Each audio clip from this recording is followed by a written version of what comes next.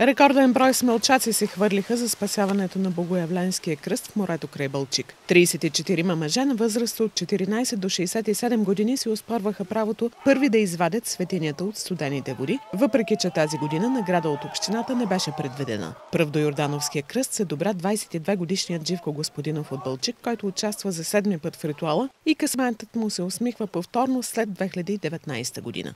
Харесва ми като българска традиция през вековете на, на робство и на проблеми, тия неща са запазили. Коледарството и нестинарството и тези наши народни ритуали, леденото хоро, мъжкото хоро по-точно.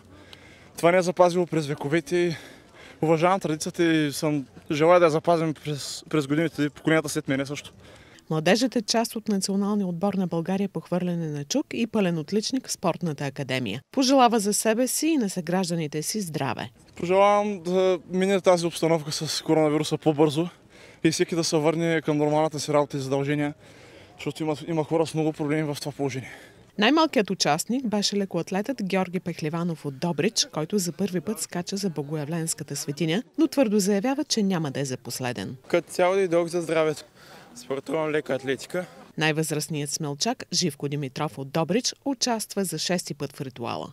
Преподавател по универсално лечебно дало, доктор по економика, морж, югин, шахмайстор и биш бизнесмен. Иначе аз съм всеки ден в морето. Моржувам. В нощи бях в морето. Давам ми всичко.